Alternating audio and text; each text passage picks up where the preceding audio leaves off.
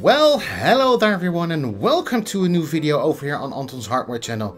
Now, I'm a big fan of The Prodigy and especially the CD music for the Jilted Generation when, well, that one came out a long, long time ago. Yes, I'm that old.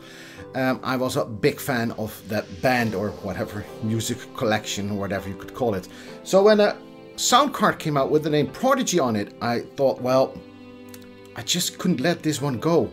So I got it and I did a review.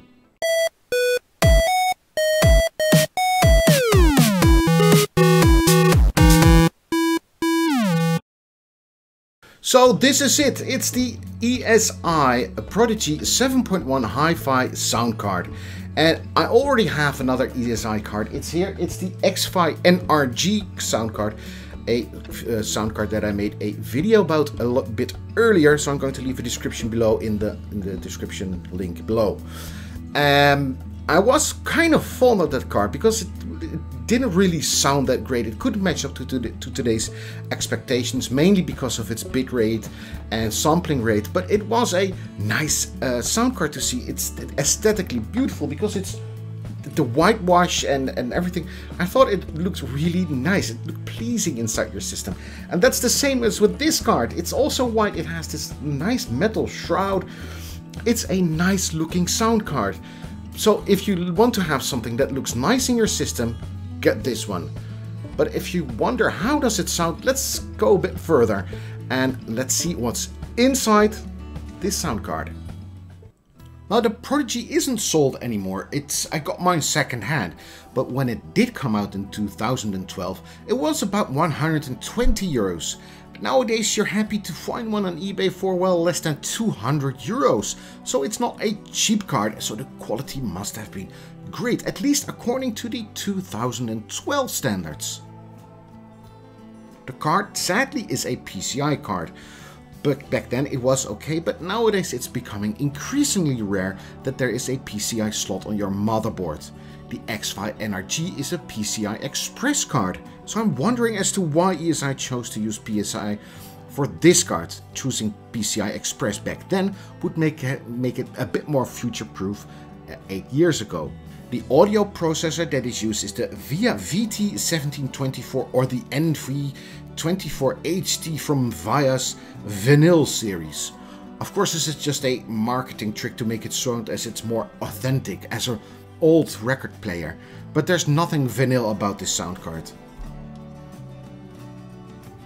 According to the website of VIA, it's an extremely high performance audio processor with 24-bit performance and at 192 kHz sampling rate.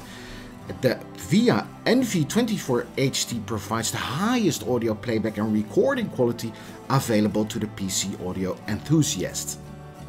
Back in the days, 24 bits and 192 kHz may have sound like it's really good, but nowadays it's more or less the standard. And some cards are even moving towards the 32 bits and 384 kHz sampling rates. But at least it's not a 16-bit audio processor, so I got my hopes up. But by using the Envy24HT it was cousins with the infamous M-Audio 9624, which is still being sold as an audiophile sound card this day. Again, there's this is a marketing trick. There's nothing uh, audiophile about this card. Because I know someone who has it and he had a lot of troubles with this card. Now, the only thing that is good with this card is that you have the ability to connect a lot of devices to it and that's also something that is in common with the Prodigy. You have a lot of connectors to it, so you can connect a lot of devices to it. Speakers, it has an optical in, an optical out, a front in and front out, and it has the possibility to attach 8 speakers, hence the 7.1, a microphone and a line in. ESI or, or AudioTrak could have opted to use an add-on card like the Terratec Aureon did. Uh, I made a video about that card not so long ago, I will leave a link in the description below. But I think that's a nicer way to give the card extra connectivity and not a breakout cable. So what else is on the sound card? Now, the Prodigy is one of the first cards to have a metal shroud to eliminate electromagnetic interference. Although the Essence SST was before and there were other cards, it still wasn't very common in those days to put EMI shielding on the sound card. Maybe primarily because the audio sound already, oh, sorry, the onboard sound already sucked, EMI shielding wasn't going to improve it in any way.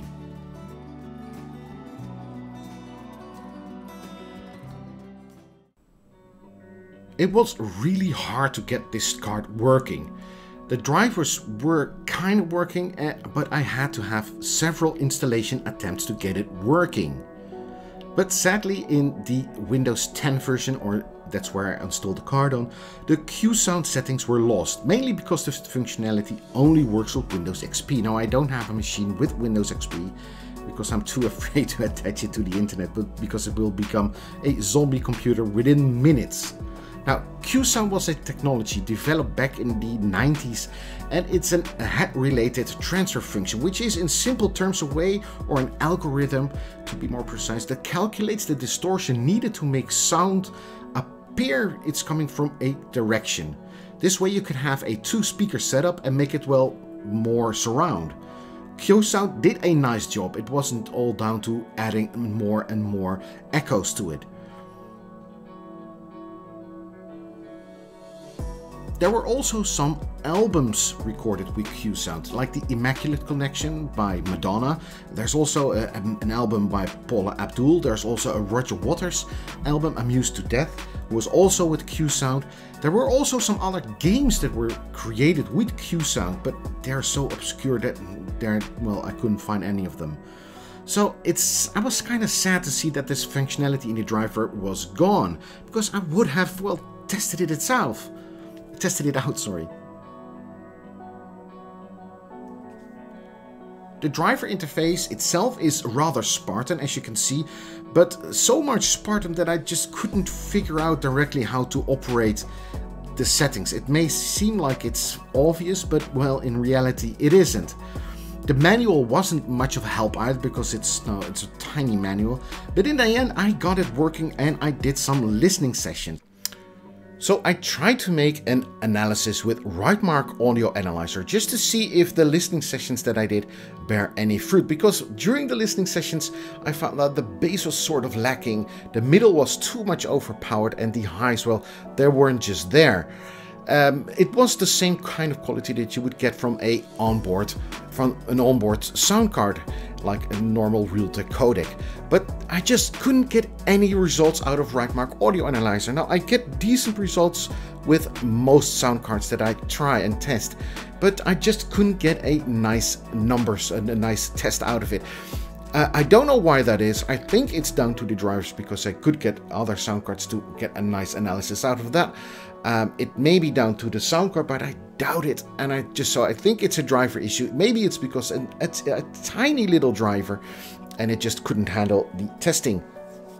So, would I recommend this sound card? Well, as you may have guessed, I will not. Uh, the driver issue is too big for me. The sound quality wasn't that good. The fact that it's PCI and not PCI Express is also a downside. Uh, those are just too much to outweigh the issue of the, the pro that it has, sorry. It's a well-designed card. I think it's aesthetically pleasing. Now, I really think it's one of the more most beautiful cards that I have. Uh, uh, uh also, the uh, ESI NRG is also a really nice card to look at. So, with this ending, I would like to thank you all for watching this video all the way to the end. And I would like to see you in the next one. See you then. Bye-bye.